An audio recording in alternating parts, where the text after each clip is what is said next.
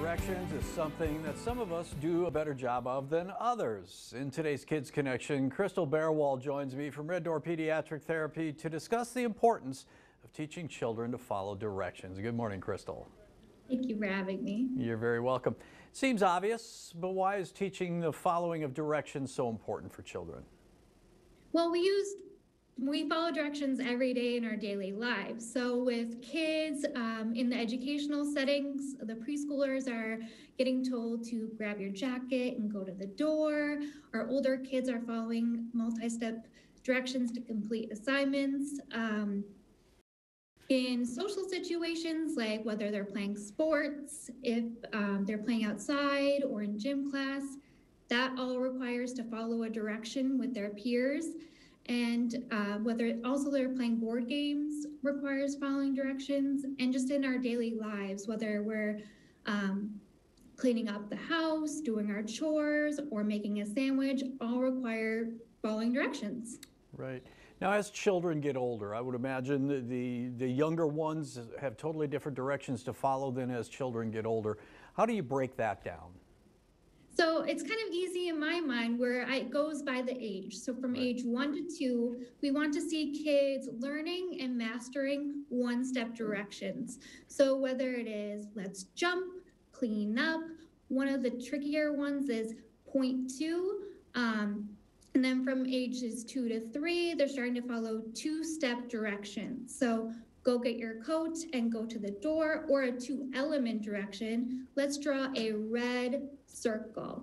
And then when we get to age three to four, we want to see them mastering a three step direction. So that's kind of where we start playing those board games in more complicated directions.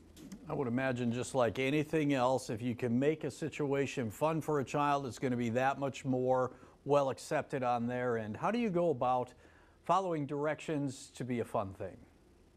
So for our one to two year olds, uh, it's all about when we're starting to learn how to follow directions, it's about imitating an action. So whether it's the basic peekaboo, so they're learning to move their hands, so big is raising their arms.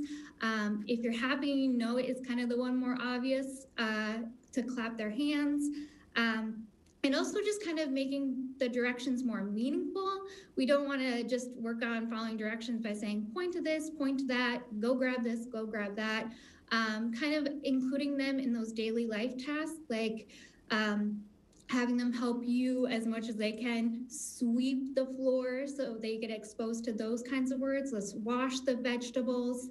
Um, for our older kids, they kind of have uh, more multi-step direction games. So those more active ones I would say are like red light, green light. Simon says it's very um, action oriented. Um, doing an obstacle course exposes those kids to the words like over and under. Um, and I would say some board games for our littler kids uh, would be Candyland. Pop the Pig is a popular one that I play with kids. Um, and then for those kind of older four or five year olds, I would say Chutes and Ladders, Connect Four, and just having kids participate in those tasks that require multi step directions, what like such as making a sandwich, having them complete all the steps in the order that you give them. And I would imagine just like in any other walk of life, some people are going to be quicker learners than others. But I would assume that there are some red flags that we can look for if a child is having a difficult time following directions. Yeah, so we have, I often get parents saying, um, yeah, sometimes my kid doesn't want to follow the directions, which is often true. Some kids just don't want to listen to their parents.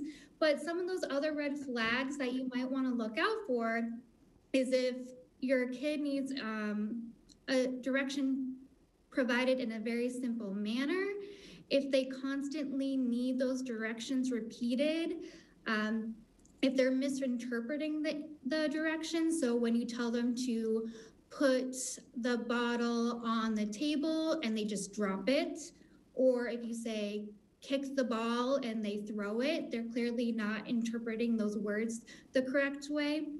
Another very big key would be if the kid seems distracted, not making eye contact. Um, they might just be anxious because they don't understand what you're saying. Um, and they, in a school setting, I would say that kids are often looking at their peers and seeing what they are doing when they were given a direction they don't understand.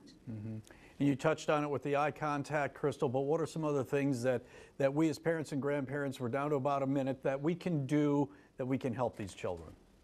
Yeah, so eye contact is definitely key. Um, just using simple language, breaking it instructions into different parts if they have trouble with that. Repeating, whether it be you repeat the direction or have them repeat it back to you.